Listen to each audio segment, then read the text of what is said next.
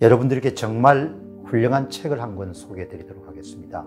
이 책은 세계사의 중요한 사건과 관련한 또 중요한 인물과 관련된 예화라든지 그런 흥미로운 이야기를 함께 싣고 있기 때문에 전혀 지루하지 않게 읽어 나갈 수 있는 그런 책입니다.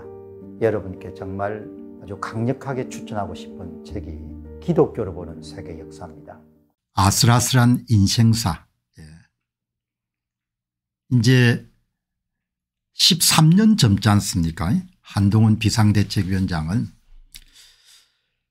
뭐 모든 사람들에게 적용되지는 않겠지만 한 남자의 일생을 되돌아볼 때 저의 경험에 의하면 은 30대 40대 50대 이때는 뭐 어마어마하게 힘이 넘쳤던 것 같아요. 그리고 너무너무 용감했던 것 같고 그래서 싸울 수가 있는 거죠. 이렇게 여러분들 60대 초반에 이렇게 여러분들 전투력을 유지하는 것은 그것은 예외적인 경우고 예.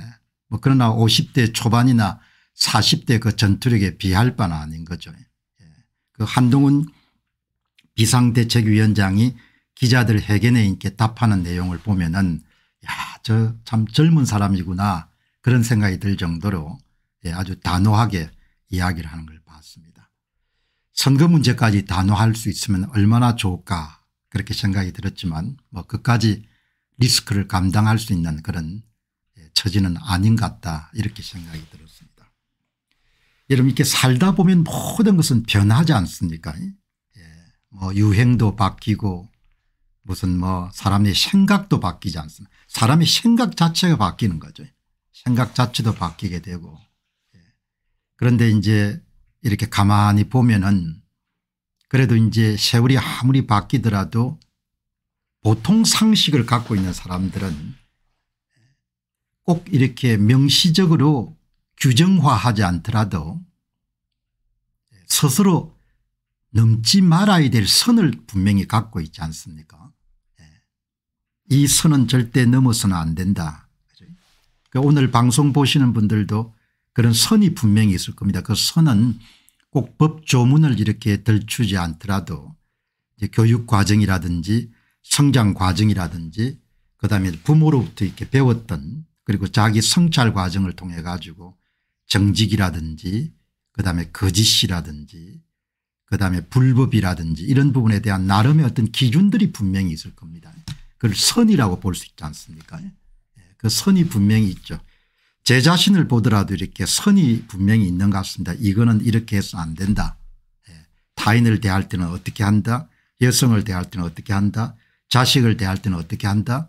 집사람을 대할 때는 어떻게 한다. 이런 선이 있지 않습니까 그 이제 그런 선이 참 많이 사회적으로 무너졌다고 봅니다. 특히 이제 사회의 지배 엘리트들이거나 아니면 지배 엘리트에 한때 속했던 사람들 보통 시민들 입장에서는 아무리 자식이 대학에 들어가는 것이 중요하지만 대리 시험을 쳐주거나 공문서를 위조하거나 이렇게는 안 하지 않습니까 그거는 꼭 법조문이나 처벌 위험 같은 부분을 제외하더라도 그거는 본인이 갖고 있는 내면의 나침판에 어긋나기 때문에 자식을 위해서 대리 시험을 쳐주는 부모들은 그런 용기를 가진 사람들은 많지 않을 거거든요.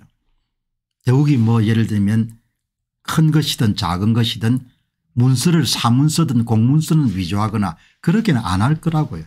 예. 그러나 그런 행위가 예. 지리한 시간을 거쳐 가지고 법정에서 유죄로 판결되어도 전혀 부끄러워하지 않지 않습니까 완전히 사회가 선을 넘어선 거죠. 옹백 아파트를 보시기 바랍니다. 공직에 계신 분들은 누구든지 동의할 겁니다. 예. 감사원 감사도 있고 그렇기 때문에 본인들이 다 조심을 하는데 예. 용도 변경을 4단계를 수직을 시켜가지고 특정 업자가 천억 이상 정도의 시세 차익을 누릴 수 있도록 그런 개발 차익을 누릴 수 있도록 그렇게 특혜를 주고 그다음에 그 관련 로비스트가 5년의 구형을 받았는데 나는 전혀 관련이 없다 이런 이런 거는 예 보통 사람들은 상상할 수 없지 않습니까? 그리고 용도 변경을 4단계를 해주고 그렇게 특혜를 뭐죠? 주는 것은 상상할 수 없지 않습니까? 예. 그럼에도 불구하고 뭐죠? 예, 대통령이 꼭 돼야겠다. 이렇게 생각하고 계속 모든 종류의 법적 절차를 무력화시키고 있지 않습니까? 예. 돈을 받았지 않습니까? 돈, 돈을 세는 소리가 부스럭부스럭 다 났지 않습니까? 예.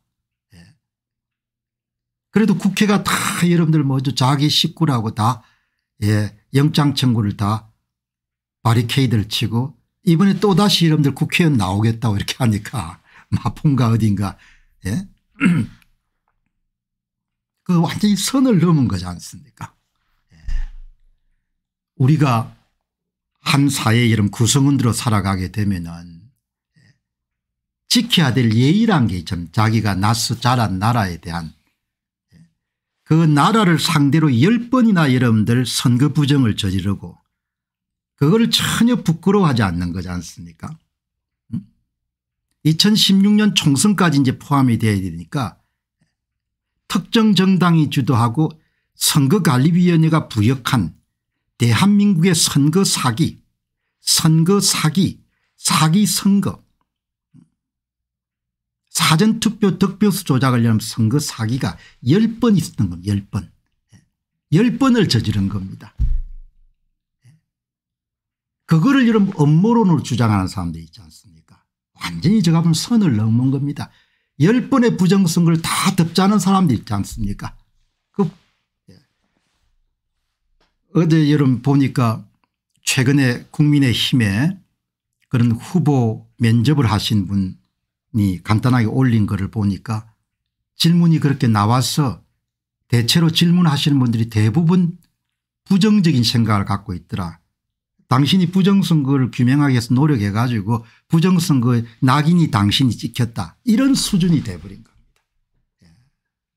그러니까 제 이야기는 한 사회가 이렇게 건실하게 유지가 되려면 모두 다 법에 의지하지 않더라도 개인마다 갖고 있는 예 새벽에 찬란하게 이런 빛나는 그런 새벽별처럼 나침반이 있지 않습니까 우리가 넘어서 되지 않는 선그 선이 많이 무너진 상태이기 때문에 그걸 이제 우리 사회가 앞으로 복원하는 그런 긴 고통의 시간들이 반드시 필요하겠구나 그렇게 생각이 됩니다.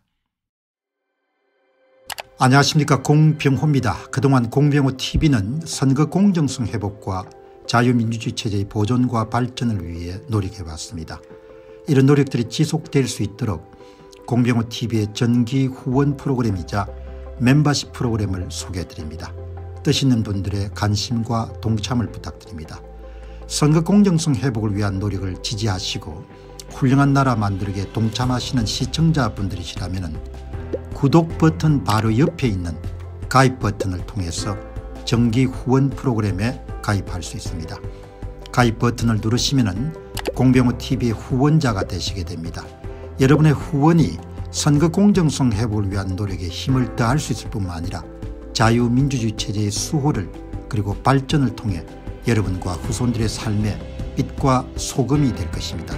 특히 그동안 공병호TV는 선거 공정성 회복을 위한 노력 과정에서 채널 성장에 제약이 가해지는 불이익을 감수해왔고 지금도 그런 불이익이 계속되고 있습니다. 그럼에도 불구하고 너무나 중대한 문제이기 때문에 공병호TV의 노력은 계속될 것입니다. 여러분의 깊은 관심을 부탁드립니다. 감사합니다.